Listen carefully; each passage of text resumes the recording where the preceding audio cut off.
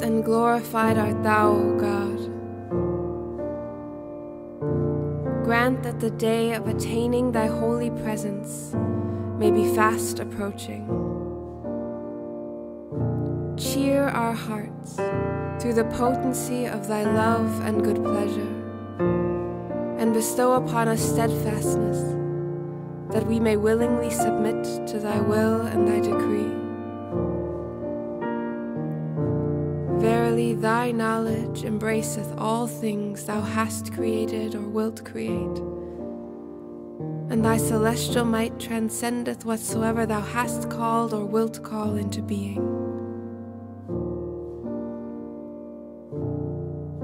There is none to be worshipped but thee.